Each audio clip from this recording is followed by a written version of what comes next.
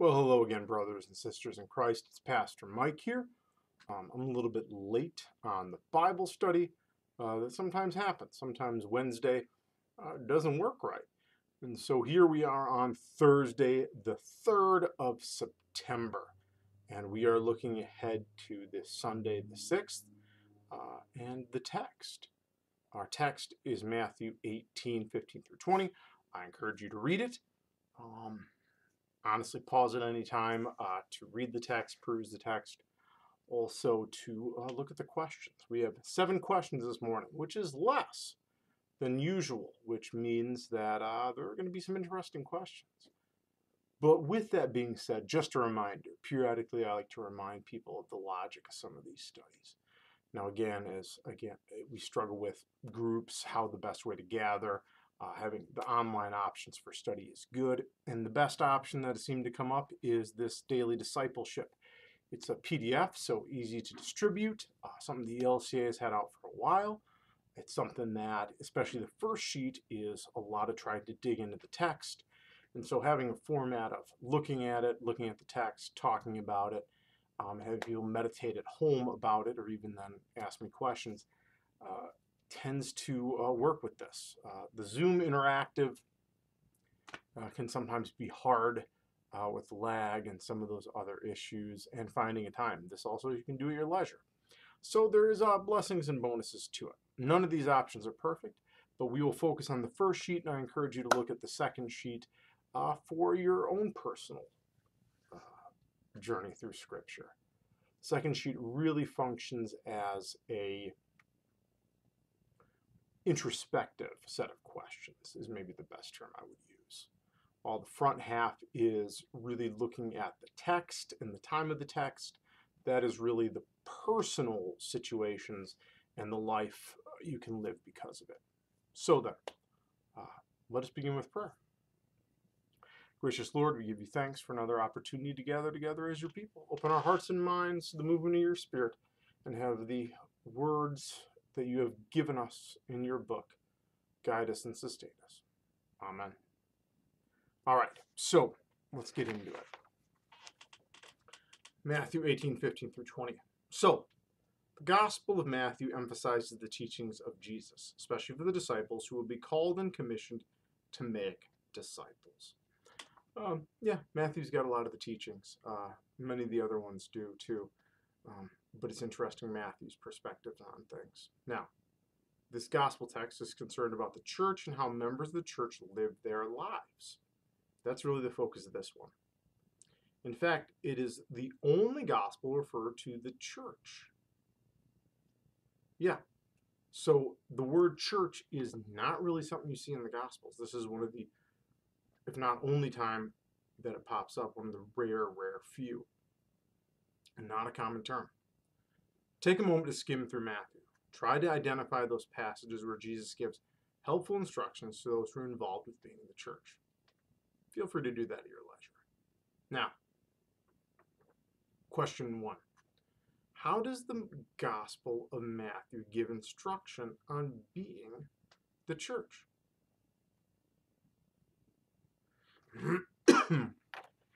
Take a moment.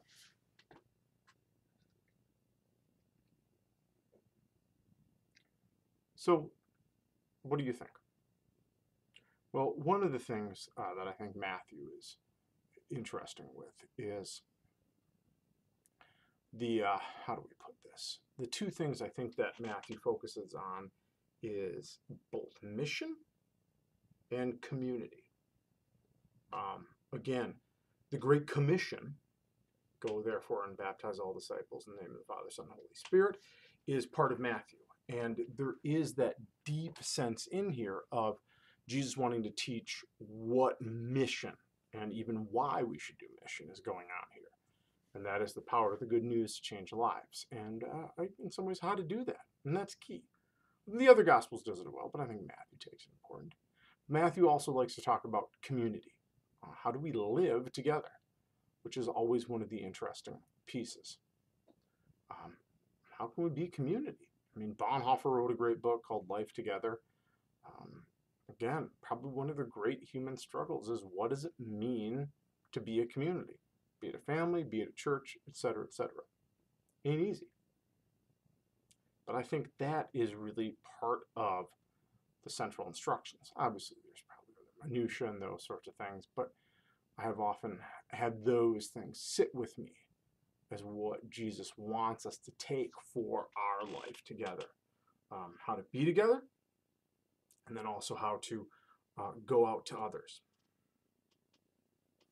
Now, question two Would it have been helpful if Jesus had spent more time teaching about how churches are to be organized? Why or why not?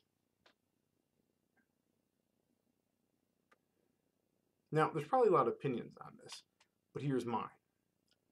I think it would have not been helpful to talk about how churches are to be organized. Now, you may ask, why? Why, Pastor Mike? Wouldn't it be great if Jesus said, do this? Thank you. Well, one, on the whole, Jesus says that we should do it. That isn't always lived out. That is not one of those things. Uh, Jesus says, love the neighbor. We have a hard time with that. Jesus says, feed the poor. We have a hard time with that. Um, they're pretty black and white, or depending on the Bible, use red and white uh, in that. And he doesn't leave a lot of wiggle room. But we still sometimes uh, disagree and fight with Jesus on those sorts of things. Uh, one, I think that would happen as well. We don't want to be organized that way, Jesus. And that would uh, create a lot of problems. With that being said, that would create problems because, two, it's not a central issue. It is not central, the organization is not central to the mission or the community. Now, again, how it's organized is not as important that it is organized on some way. And I think Jesus gives us latitude. Latitude to find out how to organize that community which goes to three. My third reason why not. Times change. And there's always the struggle of the church of what does it mean to be church today? Now, that might seem interesting. Like, what do you mean, Pastor? Well, when you talk about organization, for a long period of time, it was very loosely organized. Churches were just kind of these gatherings, man. They got together, somebody kind of taught, presided over the sacraments, so be it. Over time, the organization evolved. In medieval times, it was very hierarchical. I mean, uh, the Catholic Church still has many of the organizational structures of a very medieval mindset of organization. Um, it was, I mean, kind of the bishops in charge of the priests. Priests run the place. Um, the money is owned by the Church Universal, not by the individual congregations. North America has a very democratic mindset for these sorts of things. Um, again, it's voting. There's uh, council presidents. Um, some some Lutheran denominations have the pastor as the president. We do not have that anymore. Uh, but there's those pieces where it's definitely the organization is very democratic. Some things are voted on by the entire body. And it gets interesting nowadays because even as we try to be very democratic, democratic mindset on the organization, and again, we're structured in a democratic way, even we're a very um, Christian organization, you know what I mean? Where it's like, hey, you know, this is our mission, this is our community. And again, I mean democratic in the broad sense, as in, you know, um, a republic is a democ- democracy, a parliament's a democracy it's very much those concepts of voting and all those other sorts of things. In many ways, you know, a church organization is neither a republic nor is it really a um, parliament nor a true ancient Greek democracy, but it has that democratic philosophy on how do we structure and do those sorts of things. You know, uh, but even then, as it evolves, I've seen some churches that take on a very corporate structure where it looks like a business, where the pastor is thought of to be the CEO, um, and all these other sorts of things. Um, even as churches think about brands and what's our brand, um, that's a very business mentality. And I think in the future, um, whether it's good or bad, whether we like it or not, churches will be very organized like businesses. In fact, satellites are less satellites of churches and more franchises, you know? And so Jesus gives us room to do what's appropriate at the time. Now, again, is it appropriate? Isn't it appropriate? Ah, your guess is as good as mine. But um, in many ways, certain styles of organization don't work. Some work amazingly well. Our Amish brothers and sisters, man, their organization works pretty well for them. God bless. That was a lot of thoughts on church organization. Some churches are fundamentally disorganized. uh, pastor jokes. Carrying on. So Jesus knows he has called imperfect and sinful human beings together as an extension of his body to continue his mission on this earth. Whenever there are humans, there will be conflict. That's a wise statement. Consequently, Jesus directly addresses conflict in the church. Such conflict is what Matthew 18, 15 through 20 describes. This is all about the concept of how do you handle conflict? How do you restore? How do you reconcile? How do you do that? And always having that conflict leading to restoration and reconciliation is always is key. So describe conflicts typical in the church. Maybe think about a conflict you've seen historically. Conflicts in church. I mean, conflicts in church can range from many things. They can be about a certain, you know, structural piece, organizational piece. Again, disagreement about that. It can be something as divisive as, you know, carpet, the color of the carpet. Um, I've known certain churches where that really, really got divisive. Um, you know, do we do a building project? Um, in many ways, it's going to sound funny, but uh, from my understanding in history, um, two of the biggest stressors and thus conflict causers in churches is modifying the building and modifying worship. I mean, those lead to conflict. They just, they do. Probably because there are things that we get deeply invested in. So, what is the what is usually the root of the conflict?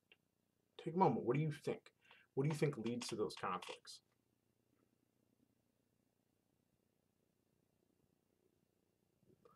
I personally think that a lot of conflict is caused by uh, the storm of many factors. Um, I don't usually think there's a singular root cause. Um, it's like a tornado or a hurricane sometimes. Is that if if you have, let's say, um, whatever the certain number of things you need for a hurricane, you get one. But if you don't have all of them there, they can't form.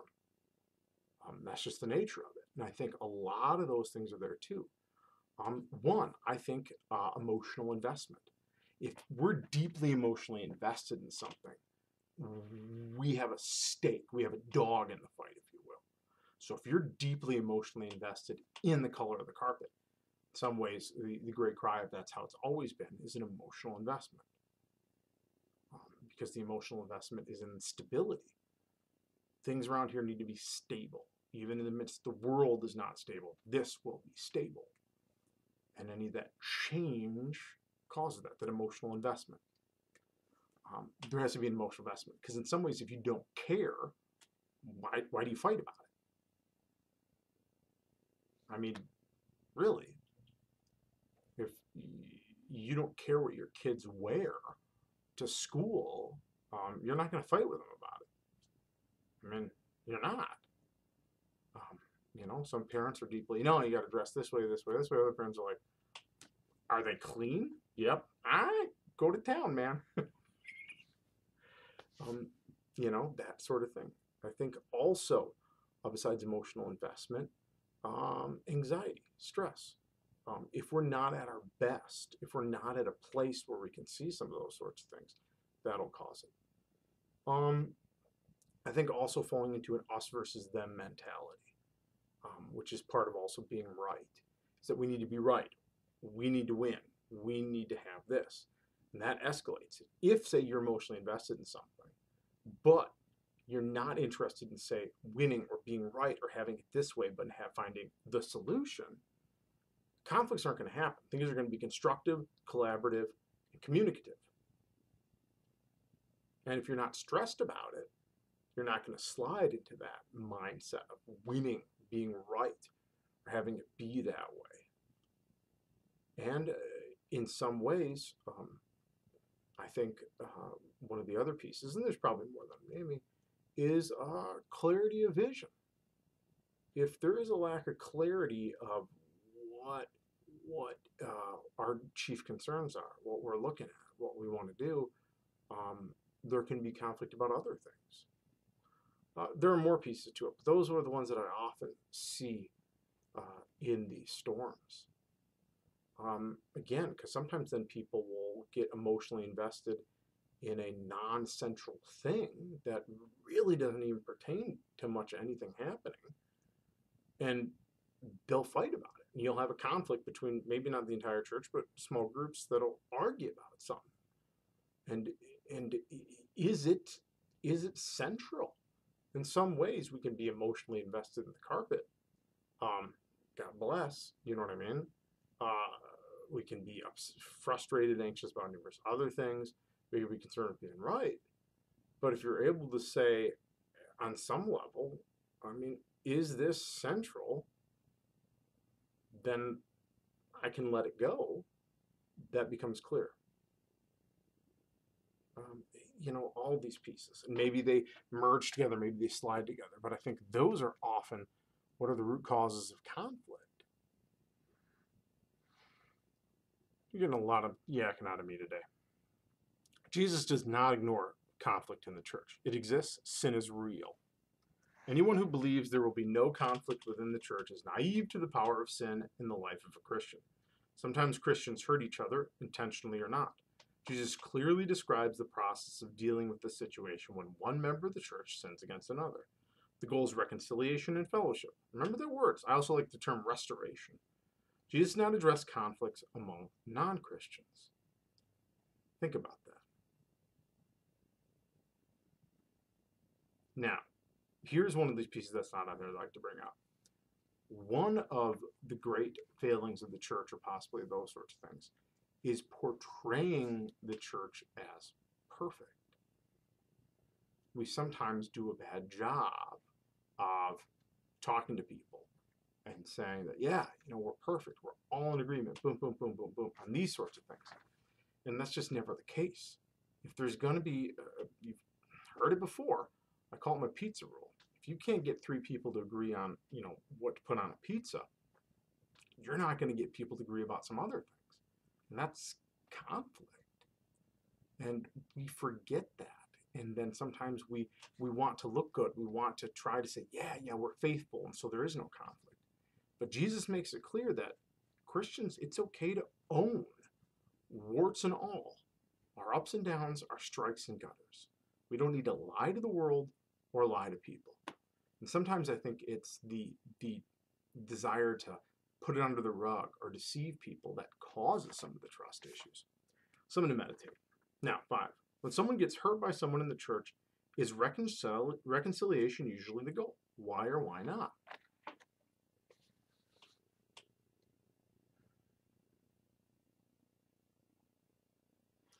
I don't know if usually is a great question to ask.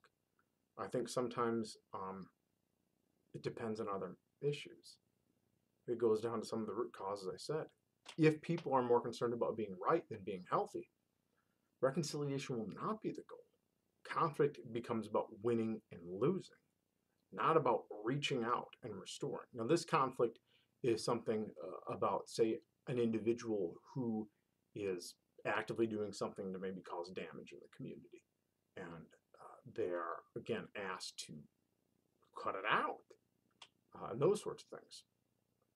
Um, but again, sometimes there there's more the desire to cut that piece off and just cut your losses than try to work for reconciliation. And that, besides, um, again, working for reconciliation is usually a good goal. Two, the major conflicts, uh, as I was saying, was about being right. This one is also about difficulty. It's too hard. sometimes people balk when something is hard. And dealing with conflict is hard, but it's worth it. That is always one of the key things to understand. And sometimes if we're tired, um, not to be inappropriate, during COVID, conflicts are shooting up. Uh, we're in pressure cookers sometimes. And there's not a lot of mechanisms we can do to release the pressure sometimes. So we run into the problem of that the conflict is there and we start cycling and not working on reconciliation. We're working on uh, victory, being right, and secure in ourselves. But if we're secure in ourselves, we don't have to be right. Those are just some of the things as to why it cannot lead to restoration and reconciliation. Think about that. Uh, this is not a fun topic. I know that. Uh, again, there are many the temptations to be right, to win. But that, yeah, that's not worth it. What happens if the conflict or sin is ignored by others? Now, this is the interesting one about what if it's damaging the community? And the community just wants to ignore it and pretend it's not there. You know, the elephant sitting in the pew, nobody can, you know, middle between the pews in the middle of the aisle, nobody can get around him, so they got to keep going around sides or zip lining over him to get to the front pews, that sort of thing. Um, or sometimes in families. Again, these are hard topics, um, like with alcoholism. They pretend it's not there. Oh, nothing going on there. Um, enabling is another term that could be used there. It continues to harm the community. Um, it it damages people if we don't deal with the hard stuff. Um, it continues to spread like a disease. If we don't do the hard stuff to to heal, to do that work, uh, the disease of conflict and anger and frustration spread. We wouldn't know anything about that in our world, would we? Jesus instructs the person who has been sinned against to go directly to the person and discuss the wrongdoing alone. This is not the time to bring third parties into the conversation. Respect the person and go directly. That is an awesome rule of those sorts of things. Don't gossip. Don't go to somebody else. Don't triangulate. Uh, talk to the person. If you got an issue, talk to them. If you have a concern, don't complain to so and so down the corner about this person. Talk to the person. That's actually, I think, one of the greatest struggles in the church. We want to talk to somebody else as opposed to the person because it's easier to complain with somebody than to work with the person. If things are not resolved, take one or two others in the church with you. Now, that is to, uh, again, gain support for reconciliation, not to gang up on somebody.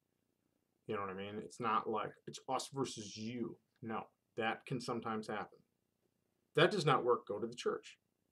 Again, it becomes, it's taking the veil off of it. It's not letting there be a secret, but that there's this problem. If things cannot be resolved, the final steps is to distance oneself and the church from that person who did the wrongdoing. Severance of someone from the body of Christ is a painful process. It is never the goal. Now, the person who has offended is to be treated like a tax collector such a tax collector Matthew, the writer of the gospel. Consider how he was embraced and welcomed by Jesus. Just when Jesus seems to be clear, he brings in grace again and again. To learn more about forgiveness, continue reading Matthew 18. I encourage you. But that's the key thing about the tax collector. That's the key thing. We can view tax collectors as an enemy totally cut off. But a tax collector was viewed as one that the church was supposed to care for and try to reach is that it's never that they gave up on the person. It was distancing for health, and it was distancing for the hope of restoration, not exorcism, to cut them off. Think about that. Sometimes taking a distance or a break is okay. Throughout the process, when two or three are gathered in the name of Christ and his power, he is present with them. How might the conversation change if the presence of Christ is acknowledged from the beginning? How do you think? honestly, I think if we did a better job about acknowledging that Christ is here with us when we are in church, when we are dealing with family, when we are dealing with the neighbor, when we're dealing with enemies, I think would help ground us in our values as Christians. It would call us to approach it in the way that Jesus would and have a much better success rate. I'm not saying it's perfect. I'm not saying that I can always summon up the Christ is present, Christ is here. Um, you know what I mean? Or the Spirit is present. Gosh, I wish I could. I'm not that good. I mean, hands down. But I think there is a grace, even in numerous moments in difficult situations. Like if you're dealing, like when we dealt with people at Hesed House, to keep in mind that the others, as Matthew 25 teaches us, that whatever you do to the least, you do to Christ. That if you can see Christ in the other, if you can see Christ's presence, that you can see Christ pushing you on, that will ground you, not in perfection, but in growth and progress. And brothers and sisters in Christ, hopefully in this hard topic you have heard hope. Um, it's a hard topic. I'm not looking forward to preaching this Sunday. it's not a fun text, but I can't dodge non-fun texts. We got to do it. Again, to uh, to not talk about it would be just to be as bad as saying ignoring conflict itself. We need to do some of these things. So, brothers and sisters of Christ, blessings to you. Hopefully, again, there was gospel, there was good news, there was stuff to carry you forward.